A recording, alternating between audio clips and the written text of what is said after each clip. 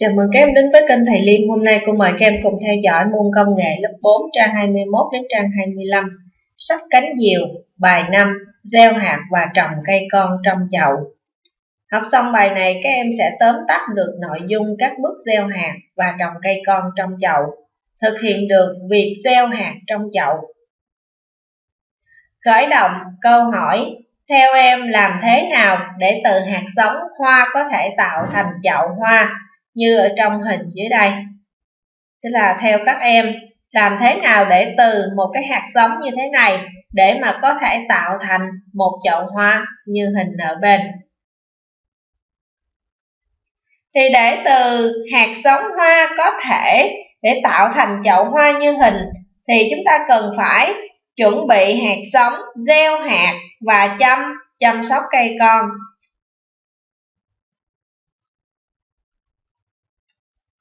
Rồi tiếp theo một nhỏ, chuẩn bị vật liệu, vật dụng và dụng cụ.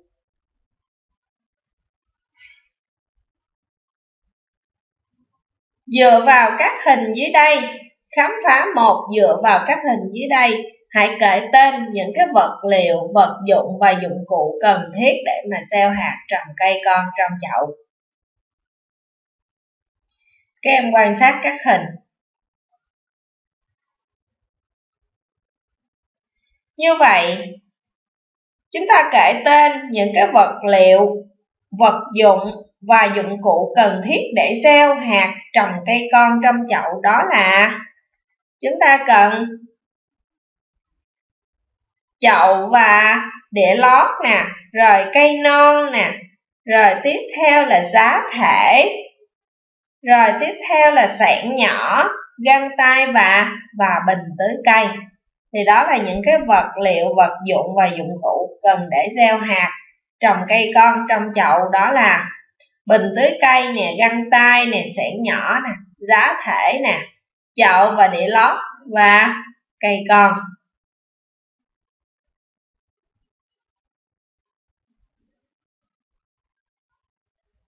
Tiếp theo số 2 nhỏ cho giá thể vào chậu.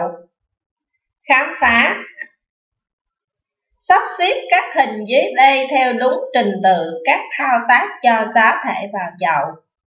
Hình 1 nén nhẹ giá thể xuống dưới cách miệng chậu khoảng 2cm đến 3cm và sang phẳng.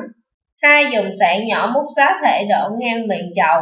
3. Rải một lớp sỏi băm, dâm hoặc là đá dâm dưới đáy chậu dài khoảng 2cm. Thứ tự các thao tác. Như vậy, các em hãy sắp xếp các hình dưới đeo theo đúng trình tự thao tác cho giá thể vào chậu. Thì cái thứ tự, cái trình tự các thao tác cho giá thể vào chậu. Đầu tiên chúng ta sẽ rải một lớp sỏi dăm hoặc là đá dăm dưới đáy chậu dày khoảng 2cm rồi dùng sẻn nhỏ múc giá thể đổ ngang miệng chậu rồi tiếp theo nữa là chúng ta nén nhẹ giá thể xuống dưới cách miệng chậu khoảng 2 đến 3 cm và và sang bằng. Thì đây là thứ tự các thao tác là 3, 2 và 1. Câu hỏi vì sao không nên nén chặt giá thể? Thì chúng ta không nên nén chặt giá thể vì thân cây, vì à, à, để nếu mà chúng ta không nên à, nén chặt giá thể để cho cây để cho thân cây à, phát triển bình thường.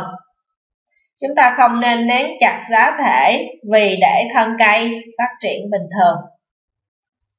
Tiếp theo số 3 nhỏ gieo hạt và trồng cây con trong chậu. A gieo hạt.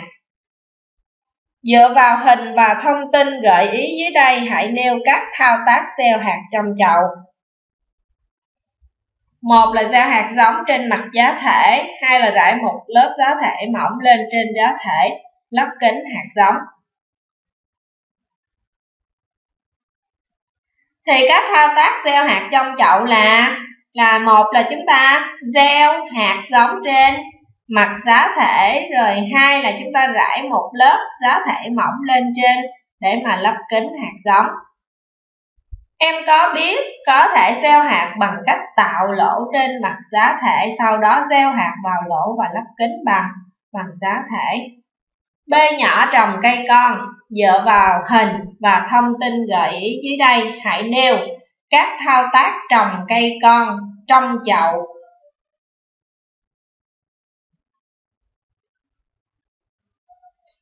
Một là chúng ta dùng sạn nhỏ tạo hốc giữa chậu, hai là đặt cây con đứng thẳng vào hốc, dùng sạn nhỏ xúc giá thể lắp vừa kính gốc và rễ, dùng tay ấn nhẹ giá thể xung quanh gốc cây cho chắc chắn. Thì các thao tác trồng cây con trong chậu đó là thao tác đầu tiên là chúng ta sẽ dùng sẻn nhỏ để tạo tạo cái hốc ở giữa chậu rồi bước hai là chúng ta đặt cây con đứng thẳng vào và hốc rồi dùng sẻn xúc giá thể lắp vừa kính gốc và rễ. Rồi bước thứ ba là dùng tay ấn nhẹ giá thể xung quanh gốc cây con cho cho chắc chắn. Rồi vì sao không nên gieo hạt hoặc trồng cây con quá sâu hoặc là quá nông? Như vậy tại sao chúng ta à, không nên gieo hạt à, trồng cây con quá sâu hoặc là quá nông. Thì chúng ta không nên gieo hạt hoặc là trồng cây con quá sâu hoặc là quá nông vì cây sẽ không đứng vững và phát triển không đều. Em có biết có thể trồng cây con bằng cách cho một lượng giá thể vừa phải vào chậu, đặt cây con đứng thẳng ở giữa chậu rồi phủ giá thể lắp kính gốc và rễ cây. Tiếp theo bốn nhỏ, tưới nước. Hãy mô tả các thao tác tưới nước sau đây khi gieo hạt và trồng cây con trong hình dưới đây. Tưới nước độ ẩm sau khi gieo hạt và trồng cây con. Như vậy, chúng ta sẽ mô tả các thao tác tưới nước sau khi gieo hạt và trồng cây con. Thì thao tác của chúng ta là là tưới một lượng, tưới nước một lượng nước vừa phải đủ đủ ẩm. Tức là thao tác tưới nước sau khi gieo hạt và trồng cây con là tưới nước một lượng nước vừa phải đủ ẩm Câu hỏi, đĩa lót chậu trồng cây có tác dụng gì? Như vậy, các em hãy cho biết cái đĩa lót, cái đĩa lót ở dưới cái chậu này nó có tác dụng gì? Thì đĩa lót chậu cây có tác dụng là chứa nước, chứa đựng nước tránh không làm nước tràn ra ra bên ngoài. Rồi lưu ý chúng ta vệ sinh sạch sẽ khu vực thực hành và cất dụng cụ vào đúng nơi quy định. Rồi tiếp theo luyện tập chúng ta sẽ cùng bạn, một là cùng bạn chọn một cái loại hạt giống à, và gieo hạt giống đó à, ở trong chậu. Như vậy chúng ta cùng cùng à, bạn chọn một loại hạt giống và gieo hạt giống trong chậu. Thì cái yêu cầu sản phẩm ở đây, yêu cầu sản phẩm là giá thể được nén chặt vừa phải và cách miệng chậu khoảng 2 đến 3 cm. Hạt giống được lắp kín bởi một lớp giá thể mỏng giá thể được tưới độ ẩm sau khi gieo hạt giống. Hai là giới thiệu sản phẩm của mình với các bạn. Ba là nhận xét sản phẩm của các bạn theo cái mẫu phiếu đánh giá sau. À, phiếu đánh giá tiêu chí giá thể được nén chặt vừa phải và cách miệng chậu khoảng 2 đến 3 2 đến 3 cm. Thì phần này chúng ta dựa vào sản phẩm của mình để đánh giá 1 sao, 2 sao hay là 3 sao. Rồi hạt giống được lấp kín bởi lớp một lớp giá thể mỏng. Rồi giá thể được tưới đủ ẩm sau khi gieo hạt giống. Rồi ở đây vận dụng chúng ta sẽ cùng người thân và gia đình lựa chọn một cái vật liệu, vật dụng và dụng cụ phù hợp để gieo một cái loại hạt giống hoa mà em yêu thích thì em có biết là khi trồng hoa và cây cảnh trong chậu thì chúng ta có thể rải một lớp sỏi mỏng lên trên bề mặt giá thể để trang trí và tránh giá thể bị rơi ra ngoài.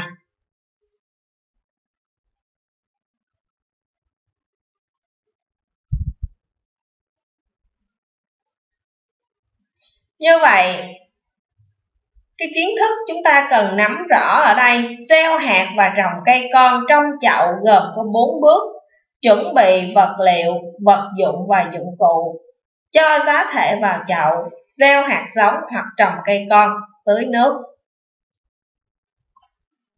Như vậy thì đến đây các em đã vừa cùng cô theo dõi môn công nghệ lớp 4 thì sau khi xem xong các em thấy thích để chia sẻ mọi người cùng xem và đừng quên đăng ký kênh Thầy Liêm để được theo dõi những video tiếp theo nhé. Cô chúc em học tốt và chào tạm biệt các em.